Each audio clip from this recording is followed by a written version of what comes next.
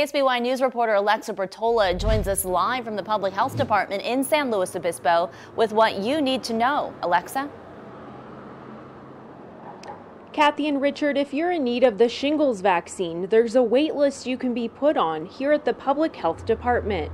Now, health officials say the shortage has to do with a major increase in demand. This is a support group with for women with either Epstein-Barr shingles or Lyme or lupus. So that one serves dual purpose for me. Nancy Hoyt has lupus, and this year she was diagnosed with the shingles not once, but twice. The shingles is very painful, it's debilitating. If you've had chickenpox, you can get the shingles. The virus that causes chickenpox stays in your nervous system and can reemerge, causing the shingles rash. It's a searing nerve pain that does not relent, doesn't quit. After that bout, she tried to get vaccinated. They said there's a nationwide shortage. Hoyt got the shingles again a few months later in the midst of trying to get vaccinated along with her boyfriend. We've been trying for seven months to get vaccines. And if there's a vaccine out there, it should be widely available to everybody. Why do I have to go through shingles twice?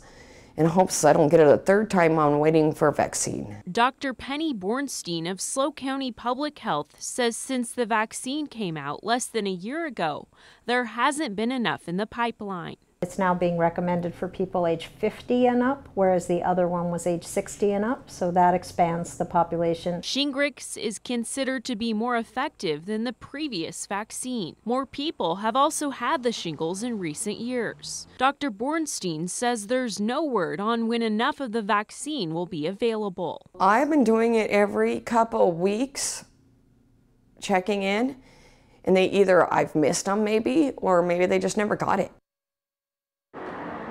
And I reached out to the company who manufactures the vaccine, but I have not yet heard back.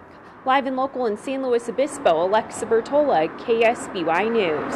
Thank you, Alexa. And health officials say one in three people will get shingles in their lifetime, but that number is expected to dip in the years to come because more children are vaccinated against chickenpox.